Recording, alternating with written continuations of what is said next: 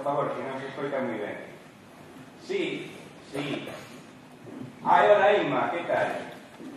Mira, si homenaxe a la Pois, eh, nada, ahora un par de horas no auditorio.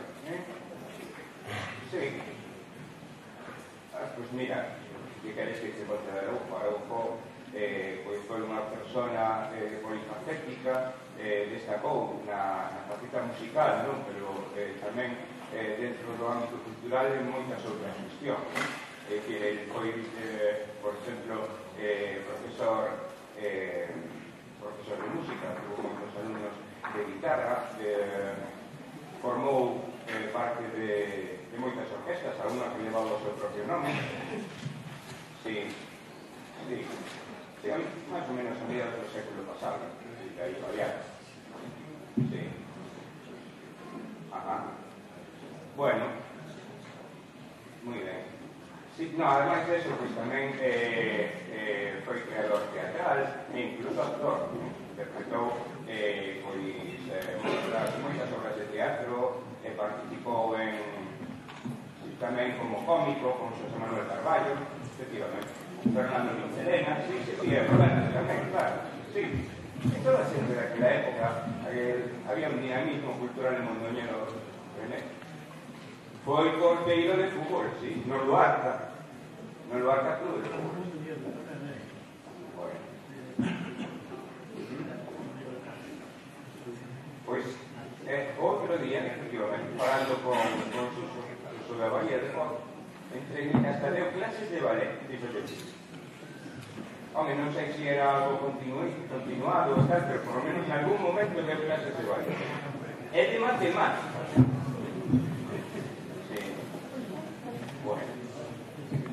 Mira, eu, se non hai novidade, eh, espero que o meu Sergio Cacharelo veña por aquí para poder ir a, ao acto este e eh, despois unha vez que unha vez que volvas a chamas, e xa te digo pois eh, todo o que pasou ali. Vale. Eh, bueno, imos, veña, quedamos así, eh. Veña, pois moitas eh, que, pasarle unha botella de mañá. Sí. Vale. Pois ben, pois, despois a analizamos en sete conto todo o que pasou no, no Víctor, vale? Bueno, veña, que me entra xente polo bar, vale? Veña, hasta logo, xa vimos, xa, amigo.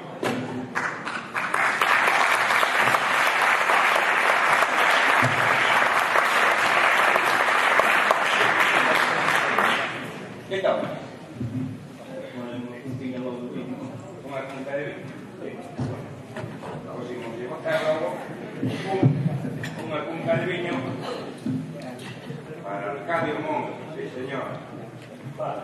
Ora, bueno, Arcadio, xa sei a que ves, eh? Xa sei a que ves. Bueno, e sei que tamén ti cobertes moito que ver en que isto que vai ter lugar no auditorio dentro dun, dun pouco pois que sexa unha realidade, non? Juntar a moitos amigos de Raújo e incluso a xente que non o coñeceu en vida, non? escutar para párrafos que unha homenaxe tan merecida. Pois sí. Como foi a cousa? A cousa foi entre Antonio, Antonio e eu, pois, só que tamén tuvimos pensando nesto, porque nós tuvimos cinco anos, da súa morte, tiñamos muitas ganas de facer de recordar, que a nosa parte xente só, que está moito, porque a Antonio era un novo robusto, xa é porque era un músico, un gran deportista un gran director de de carrera unha gran persona sobre todo. Eh, un de ayuntamiento que se investigou eso me fue máis Bueno, e mire, se quedan un par de horas para empezar. Eu teño aquí bar, teño eh, algúns amigos que igual si te animas que queres cantar unha canción sí, anima bueno, sí. entón xa que a Carla Santa eu vou cantar unha precisamente de Manuel Manolo sí, que como se titula Isto é unha primicia Eh? unha primicia, porque nunca se interpretou ese tema quizás se lo interpretara non sí. pero tío, pero vou facer un bolero como deixou el e que a letra e música de Manuel Augusto están así Pois eu encantado de escutar. Pois moitas gracias.